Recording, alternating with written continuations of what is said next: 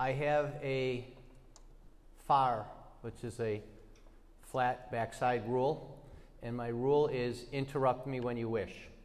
If you have a question, raise your hand. I'll call on you. And the reason for that is, is I don't want my audience to think of something then forget it, right? So whenever you think of it, I can stop what I'm doing, and if you want me to pause my, my video, I don't always know what's being shown on the video. So if you see something on the video or you, I, I say something, um, just raise your hand and we will we'll address the question. It works very good that way. And I will also be showing you what I like to call bring brag items stuff that I think is really neat. All right? So um, the more you ask me questions, the more you participate, the better. All right? Yeah, good. Everybody agree to that rule? Yes? Yes? Yeah? Yes. Okay, thank you. All right. Okay, so I'm going to give me a second. I'm going to change the film. Okay.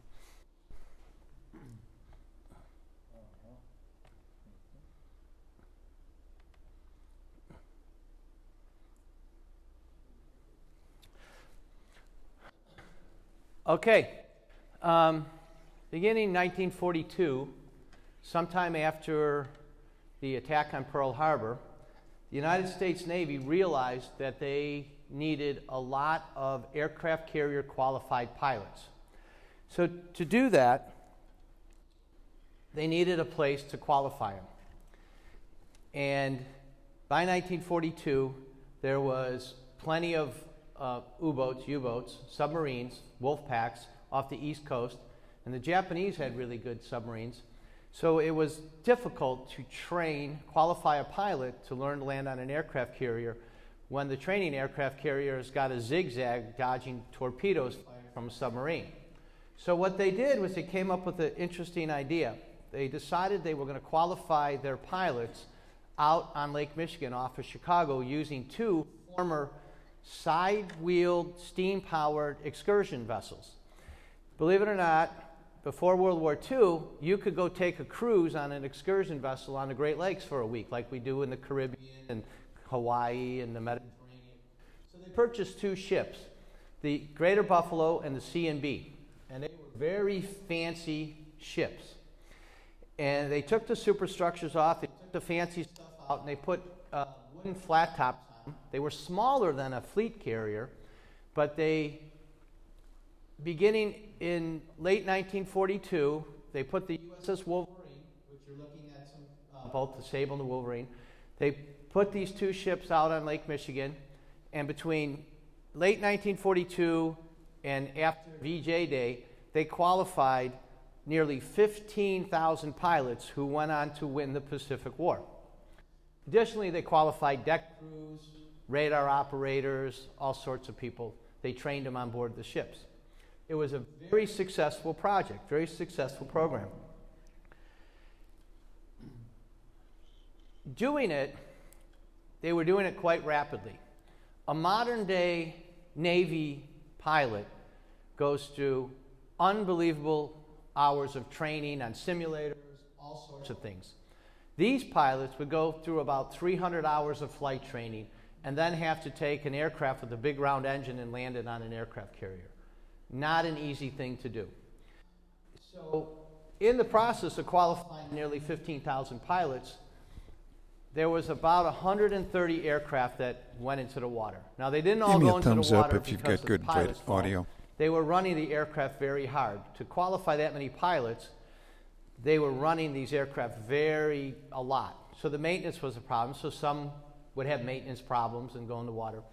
But about 130 went in the water. They had a diving operation that attempted to recover them. Our estimates are that they were Perfect, about thanks. 10 of them.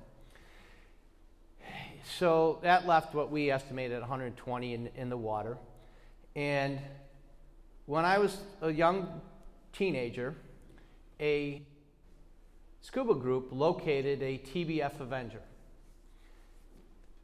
The program was pretty much forgotten up until that point. So that scuba group recovered that TBF Avenger. About a year later, our group, which we later called A&T Recovery, we were really an ad hoc group of boys who grew up in the same Chicago area neighborhood, inner city neighborhood, who just liked to explore. We located a Wildcat fighter. That Wildcat fighter was recovered for a man named Tallichet who had owned the 57 squadron restaurants that are near all the airports. The two primary um, people for A&T Recovery, myself and Alan Olson, we went and did military service. And several years later, we came back and we decided that we were going to survey the southern basin of Lake Michigan to locate all those aircraft. Well, we became really good at it. And we started recovering aircraft for museums that would request an aircraft from us. And it was actually kind of simple for us. We'd locate the aircraft. The museum would make a request to what was called NAV Air, and Nav Air would say, sure, you can have that aircraft.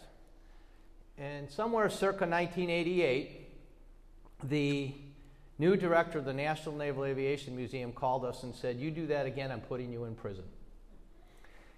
And, and we said, Oh, wonderful, great. And he said, But what I want you to do is I want you to work for us. And he said, I don't have any money though. So he said, Well, how are we going to do that? And he said, What I have is this thing in law, Title 10, Section 2572. It allows me to exchange artifacts to enhance my museum. So he said, I will give you aircraft for the aircraft you recover from us. Well, we said, okay, sounds like a deal. Then he told us that's against the law.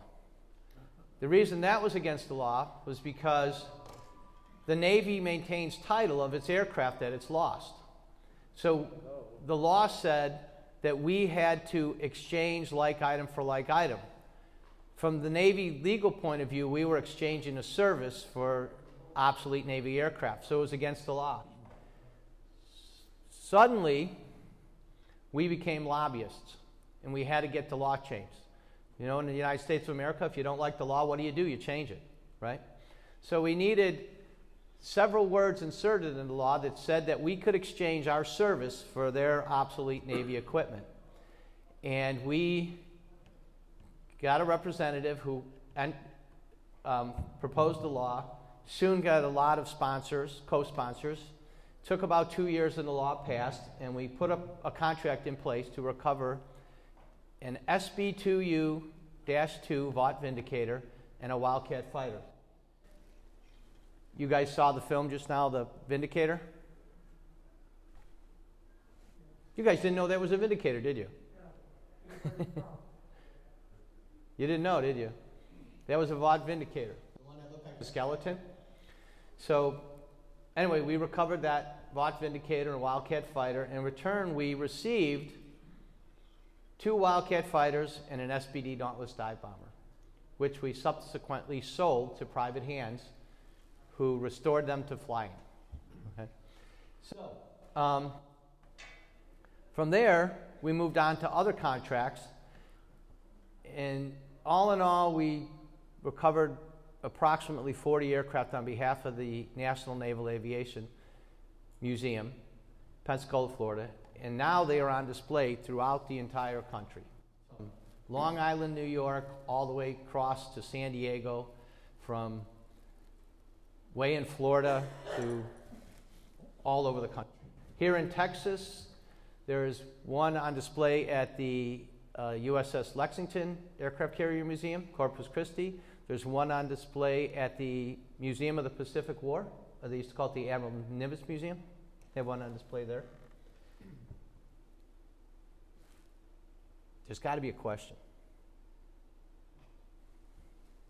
No questions. All right. All right, so I want to tell you everybody on your table has, has some paperwork, right? So I have, a, I have a question for you guys. We use what's called side scan sonar. Does everybody know what a side scan sonar is? Hmm. Anybody know? Yeah. Okay. You guys know what a fish finder is, right? Yeah. Okay. Basically, it's a fish finder turned horizontally. And what it does is it sends out a signal that it listens for an echo return and then it draws a map of the bottom.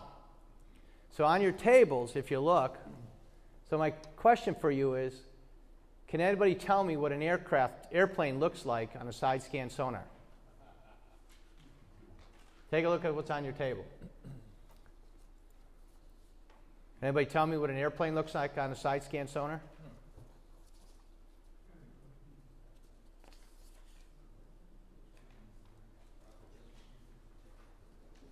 Nobody has an answer? it's a trick question. An airplane looks like an airplane, doesn't it? That's what airplanes look like on side scan sonars. Let me pause this for a second.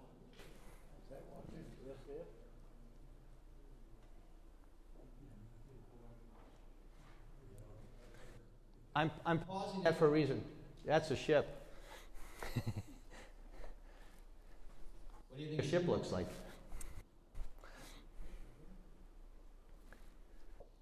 There's a reason I'm pausing the video. I'll be right back. An airplane looks like an airplane. Uh, what's the other images you see are ships, basically. So, I always like to pause on this photograph. I have another question for, for you guys. Who's the youngest aviator in naval aviation history? Anybody know? Go ahead. Who? Who? Bush. Everybody agree? No. Probably, yeah. George Bush, absolutely false. Ted Williams. No. Okay. So, these three gentlemen here, interesting group of people, and I, I like to show this. Okay. As you look at the photo on your left is Captain Grant Young. In the center, the man's name was Fred Turner, and on the right, as you view the photo, is Charles Downey. Charles Downey was the youngest aviator in naval aviation history. He was 17 days younger than George Bush. George Bush got to 90 something years old before he admitted it. And he sent Charles Downey, I've seen the letter, a letter admitting it. In all those years, he let everybody believe he was the youngest aviator, and he wasn't. The man on the left is Grant Young. Grant Young, on December 17, 1943, crashed in a TBF Avenger out on Lake Michigan it's a great story. He, the crash rescue boat, he was standing on the wing of the aircraft as it was sinking. The crash rescue boat pilot pulled back on the throttles too fast. Anybody know what happens when you pull back on the throttles very quickly with most engines? They die.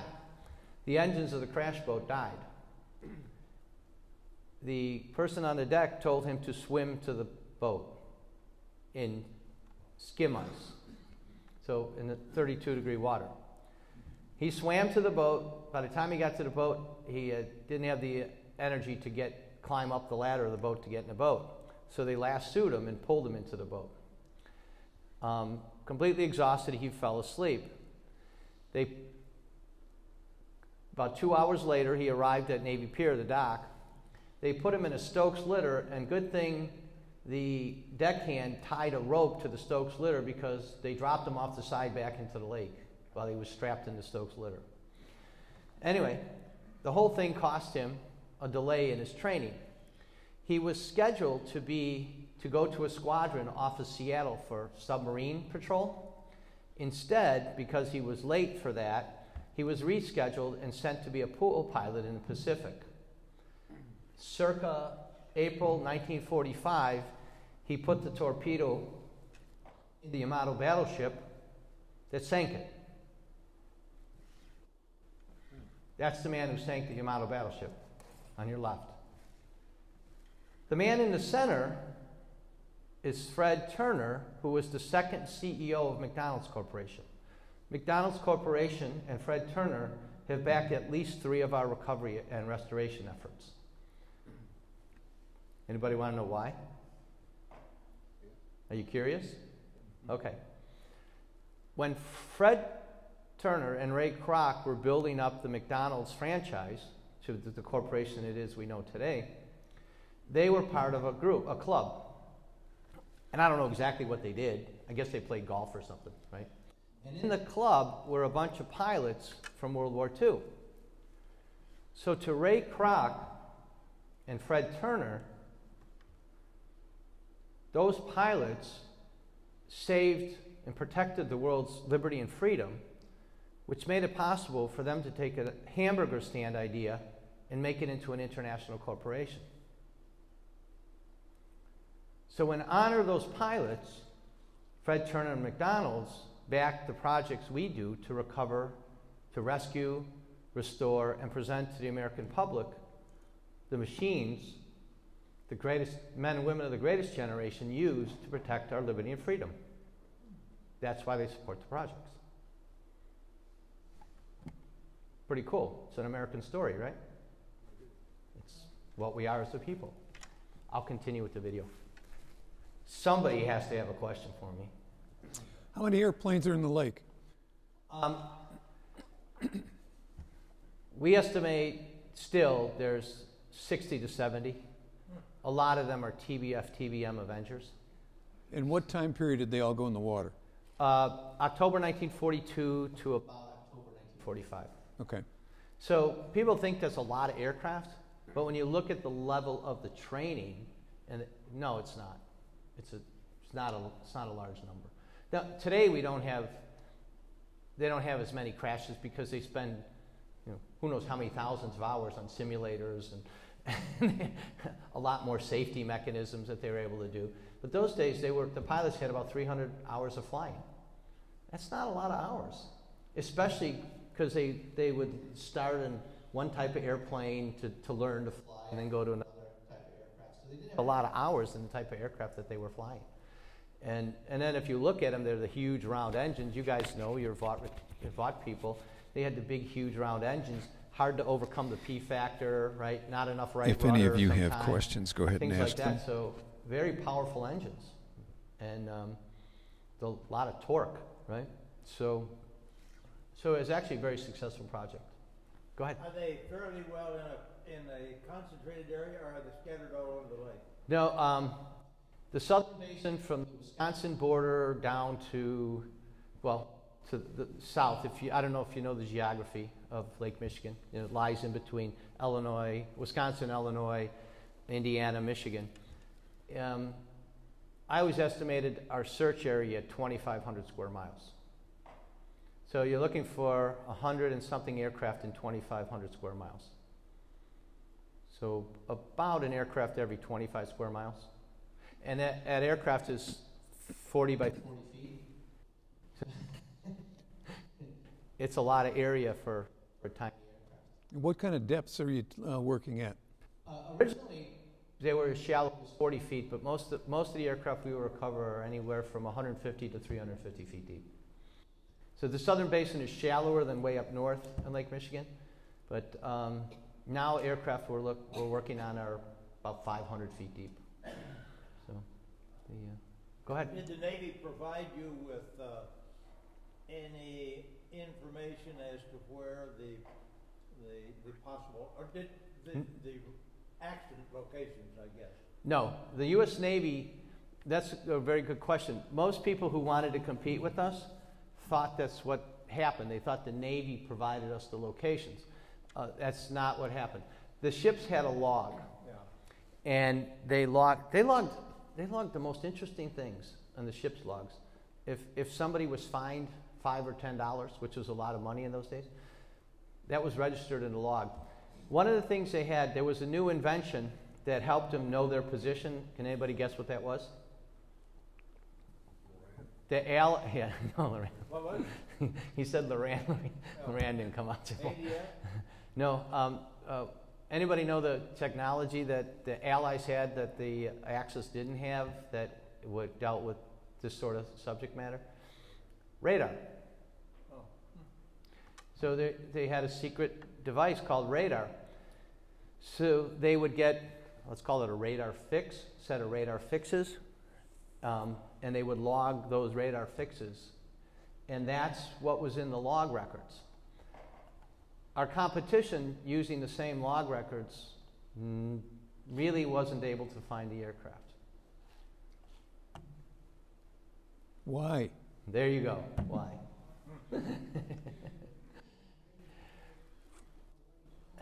adults think as adults. You agree, right?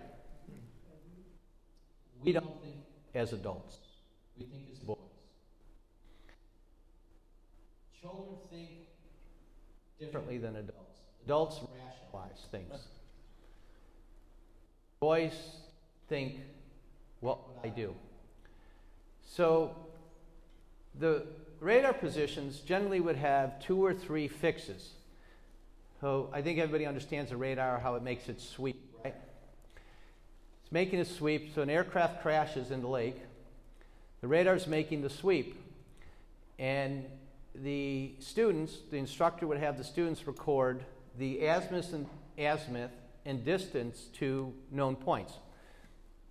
For anybody who knows the geography of Lake Michigan, it might be St. Joseph Harbor entrance, Michigan City Harbor entrance, Chicago Harbor entrance, Waukegan Harbor entrance. What happened? Oh, my computer. Hang on. The um, Chicago Harbor entrance. Um, should start back up. Okay. So they would have, say, 32 miles at such and such heading to Chicago Harbor entrance, and so many miles, such and such heading to Michigan City. So the, the logical thing, an adult takes that and charts that out or draws that out on a chart. So if you had three positions like that, what should you get for their intersection? Ah, you're thinking like we do. Most people think a point can't be a point because the boat's moving, and every position, the boat, every fix, the boat's in a different position. So that's what you get. You get a triangle. So where would you search for the ship or for the aircraft, the lost aircraft? In the triangle. That's what an adult thinks. Okay. The aircraft's never near the triangle. Absolutely never near the triangle. Anybody tell me why? Because the report's after the event. You're close, but why is the position so far off? What does a boy do when they see something awesome? Pardon? They go out there and they say, Awesome, man. Look at that dude. Oh, oh my God, he's going to get killed. Oh, oh, there comes a crash boat. Oh, maybe they'll rescue him. Maybe. And what's the instructor doing? Get back in here. We have work to do. But you're going to tell a 19 year old to stop looking at an awesome crash? So after about 10 minutes, maybe they go in and they record where they are. It's a long way away from where that aircraft crashed. So adults read that log page and they go search triangle and they find now. And for years they called the FBI and said A&T Recovery took the airplane. So the FBI sat down with us we explained the whole situation. The aircraft is always behind the position of the ship. So then you have to think about it. How do you know the position of the ship based on the triangle? Anybody figure that one out? A Navy ship and a Navy aircraft. What's it doing? It's moving. What direction is it moving? Into the wind. So you have to know the direction of the wind and the, and the strength of the wind. So you can figure out where the ship was when the aircraft was lost, not where the ship was when the recording was taken. How far from the triangle would, would you normally find it? The furthest one we found away was 12 miles away. so if you don't see the position of the wind and you don't know how to figure out the position of the or the direction of the wind, which way do you look? Right? And that's been the problem with other people. They don't do that. They haven't done that. They didn't do that. But how did you determine the direction of the wind on that day in nineteen? Remember, I said they recorded all sorts of things? About every 15 minutes, they recorded the direction and strength of the wind.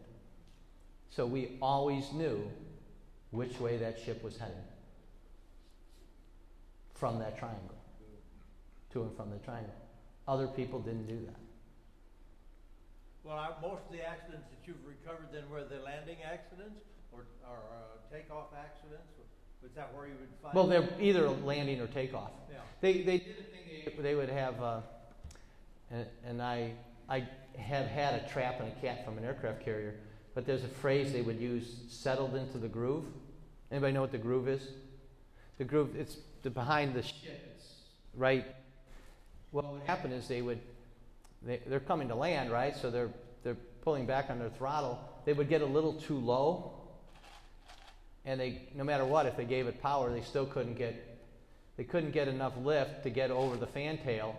So the, uh, the, the landing signal officer would just tell them, that's it. You know, you've settled in the groove, you're too low. I can't have you crashing on the back deck, just go in the water, right? So, so they would go in the water. And then there was the, there was a couple uh, fatality accidents where they didn't overcome the P factor, is that it? P factor to torque? And they would, they would be pulled, I think they're pulled to the left, right? Yeah, pulled to the left so hard over that they would lose their um, lift and you know, wing, one wing, you know, their, their port wing down right into the water. So there was a number of those. And then there was, there was they'd get some odd stuff. They had um, Brian, who's with us, his great uncles, I, I believe that one was a, a, a fuel problem. I believe it was a contaminant in the fuel because it, uh, two aircraft crashed in the water right in a row right after fueling on the deck, and I think they had contaminated fuel, so their engines quit. Um, I'll, I'll roll my film a little more.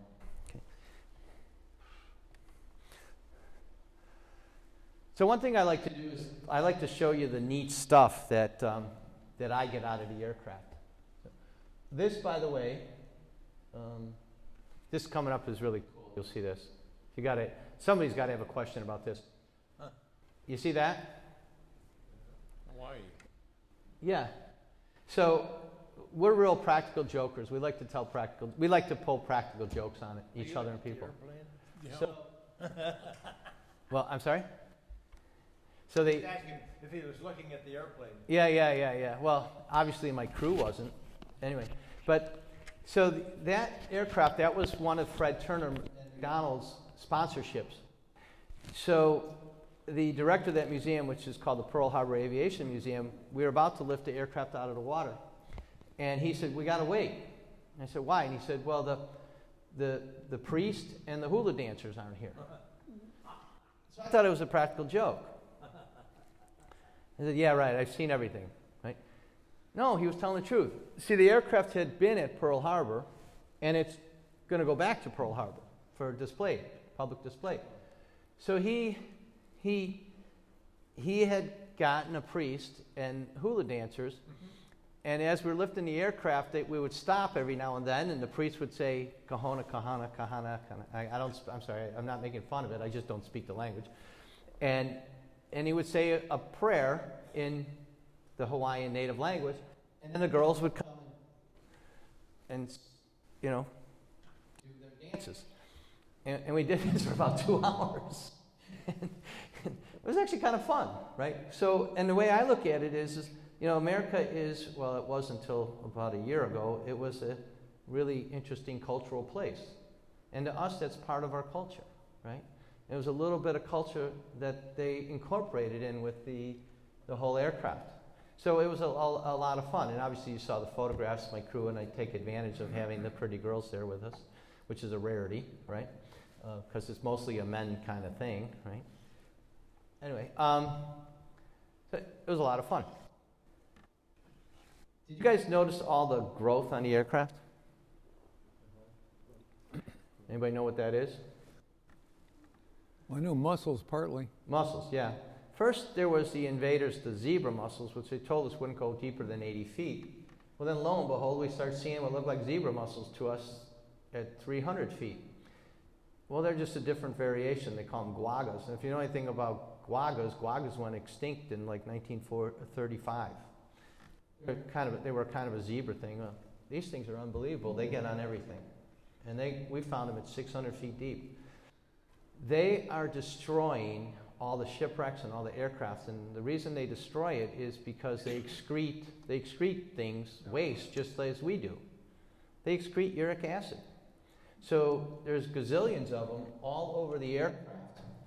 And they, they are destroying them. You can see the damage they're doing. So I want to show you some of the cool stuff. So I'm going to pause the video for a little bit. And I'll tell you a little bit about that, that aircraft. So I like the cool things. So we, um, there's, in the aircraft, there's survival kits, right?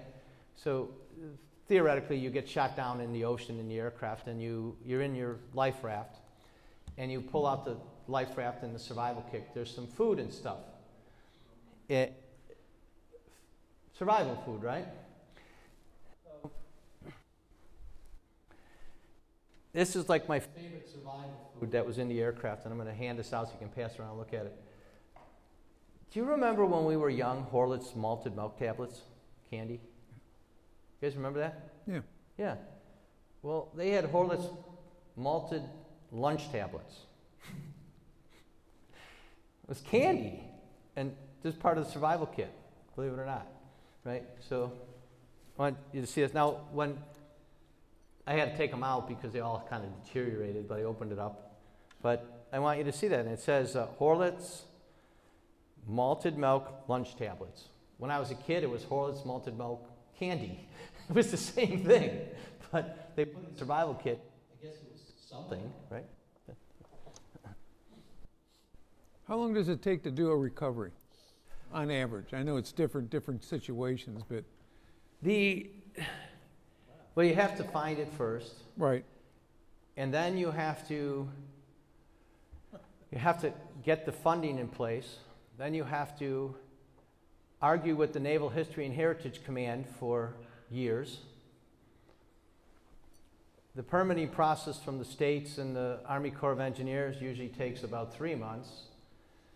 So my answer would be 15 years because 14 years and nine months is arguing with the Naval History and Heritage Command. So how long, though, the actual physical part of, re- of uh, recovering the aircraft Few and bringing weeks. it up? Few weeks. Two weeks? Few, yeah. Well, you know, that's rather interesting because the airplanes, according to some of the records you showed there, the airplanes had been stricken. So they no longer belong to the Navy at that point. not- No, no, they belong to the Navy. Um, stricken just means that they're not maintaining a record anymore. That's all that means. That's been determined by the courts. Stricken from the records, that's all. They still own it. Um, a question back there. Where do you get the crash card from? Uh, the National Archives, Records Administration. The National Archives and Records Administration. We, back in 1989, bought all the microfilm of all the uh, crash reports, all the history cards and all the crash reports. Um, as far as ownership, it's pretty simple. It's, it's pretty simple. If you're, if you're going to the Walmart tomorrow and you drop your wallet in the parking lot and you go inside and someone else finds it, whose wallet is it? Your wallet, right? In our society, in Western society, what we do is if that happens and you have $100 in your wallet, you reach in, you pull out $20 and give it to the person that found it, right? Very similar with anything lost in the water. Ship sinks, um, whatever. You locate it. Uh, there's admiralty laws where vessels in distress. It's similar sort of thing. You you aid it. They they they're they're grateful and they they give you something in return. It's not yours, right? And so um, that's a very simplified of what it is, but it still belongs to the Navy. Now we've been successful in getting the Navy to turn over five or six, maybe seven of the aircraft to private hands. Actually, they just did it a month ago with the SBD Dolls, uh, 36175. Um, but they own them.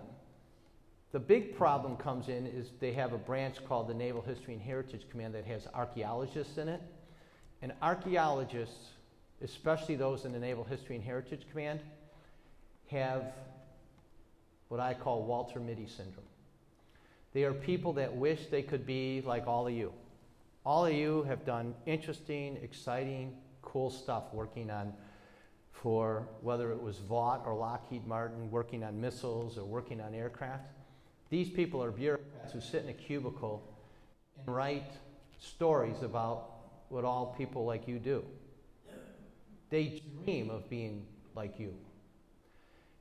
And they are so envious of anybody who does something that's real achievement that their mindset, their collective mindset in their closed college echo chamber is to stop people from doing wondrous great things. So they create this bureaucracy of oppression of anybody who does something that is interesting, exciting, beneficial to the country because they wish they could be those people. But they're the type of people that took the golden handcuffs of the government safety bureaucracy. And we're not gonna take it anymore. So, what is it? What's the condition of the the airplanes? I mean, do you have to be very careful bringing them up, or Oh, are yeah, they yeah. they pretty well intact? Well, we at A&T Recovery would have been done recovering every aircraft from the lake before 2000 if not for the Naval History and Heritage Command. Okay. They successfully delayed recoveries of aircraft for 15 years. And we want to recover more, and they are just, they do everything they can. We- We've caught them lying to state archaeologists. We've caught them, it, there's nothing underhanded enough that they can do to stop us from doing it. They shut down the restoration facilities at the National Naval Aviation Museum to stop recoveries. They have done things that are just, just disgusting and vile. And I'm not worried about saying it because it's a fact. They are disgusting, vile people. And the trouble is, they have been given a position that's controlling what goes on. And they won't debate me because they can't win the debate. Because it's nothing what they do that logically makes sense, scientifically makes sense. The quagga mussels are destroying all the aircraft. Their head archaeologist actually made a statement to the media years ago where he thought, he made a statement, and I, I'll paraphrase it. He said, Won't it be wonderful if we keep these aircraft on the bottom so some archaeologist in 100, 150 years from now can find one when all of this generation has died? That's how this moron thinks.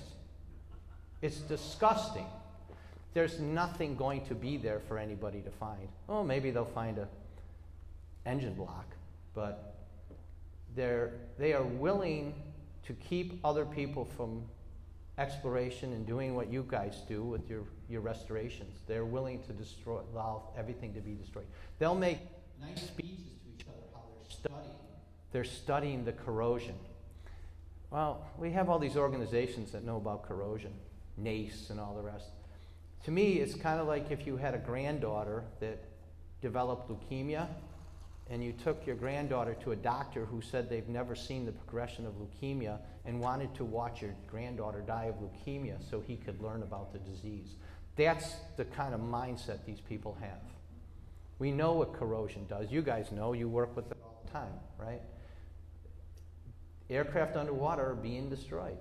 And they, but they're, they're going to tell their peers who have the same like mind, we're going to study the corrosion. So the the fresh water isn't the enemy here; it's the organisms. In this case, it's primarily the organism.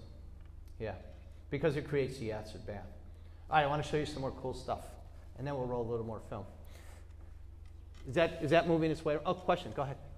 Do other services have the same mindset of ownership forever? The Air Force has a, has a different mindset, and the reason the Air Force has a different mindset is they had a big fire and they lost all their records in that fire. So they can't prove their ownership.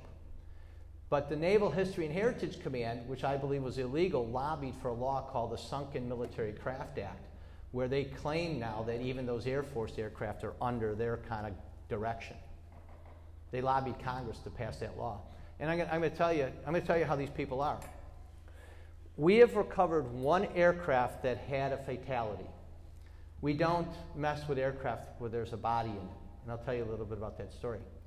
But when Duncan Hunter was Armed Services Chairman and they were looking at that, passing that law, I was asked by the Armed Services Committee to talk about it a little bit. And the, the backdrop was that the Navy History and Heritage Command staff had told the Armed Services Committee not to listen to me because I was nothing but a grave robber. See what I mean about their lies? Okay. Now, the story about the one fatality, Brian Lynch, who's with us, it was his great uncle, Ensign McMinn. He had a fuel problem, November, I think 1943, and his aircraft disappeared. He left the ship heading for home and never made it. He went into the lake. We were lucky there was no position on that. We were lucky there was a, a man standing on shore waiting for a business meeting and he watched it occur. The strange part was, I think you guys have been out over water. The I'll roll the film so you so your your viewers can see more. Um,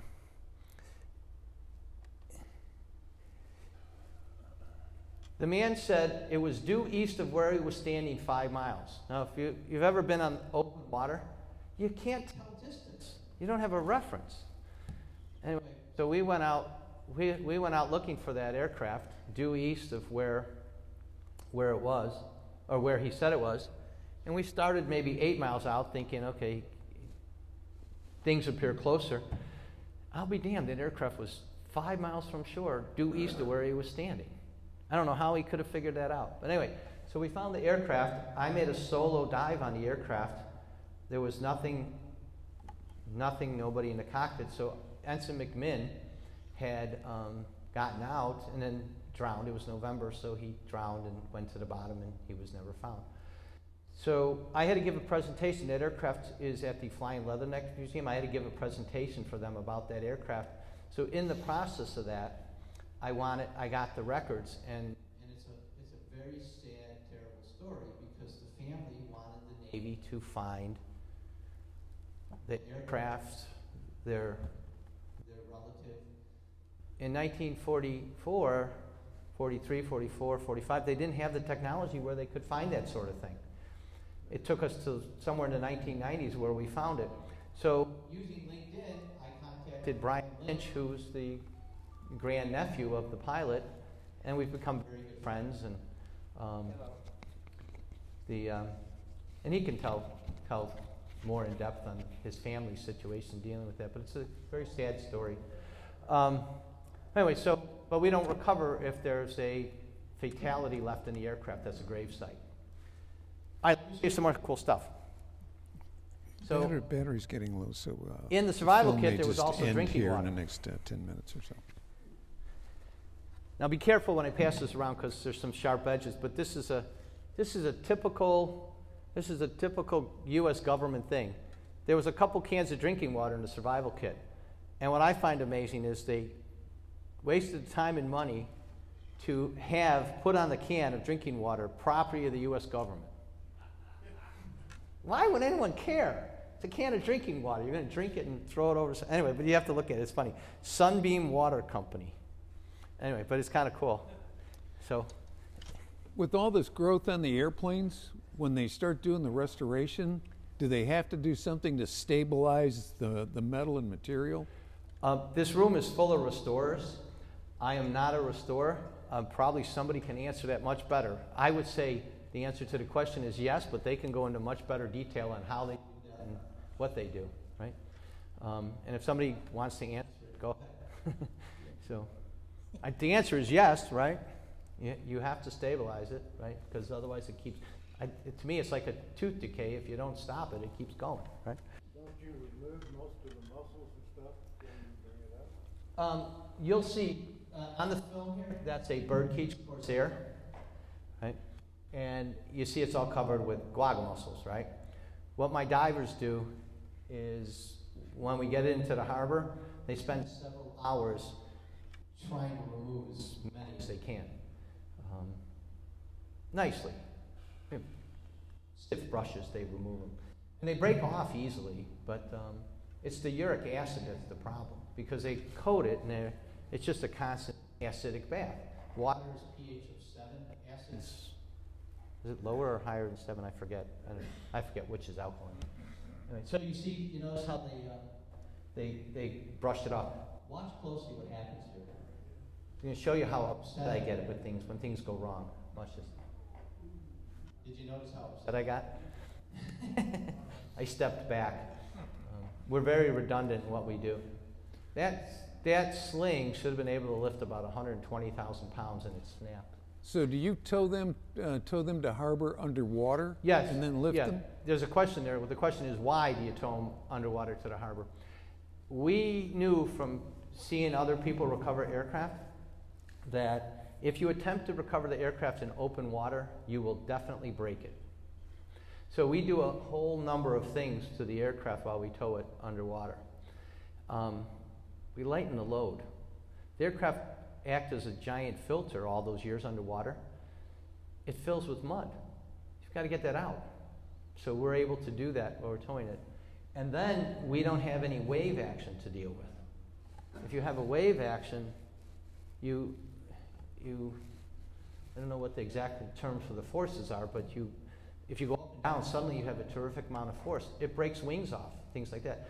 And you, you can't do that stuff. The other thing is you lose oil. If you notice the oil beams, I mean the oil booms, not beam, you, you lose oil almost every time once you're lifting it. It's kind of, it's funny because the oil is, is staying in the oil reserve. When you pick it out of the water, almost all that tubing and piping will have holes in it. So once you pick it out of the water, the oil starts coming out. Right? When it's in the water, the, the, the oil is floating at the top of the oil reserve. Um, in open water, you can't, you, there's no way to keep those oil booms out. So you, you don't do it in open water. Um, okay, let me show you the next thing.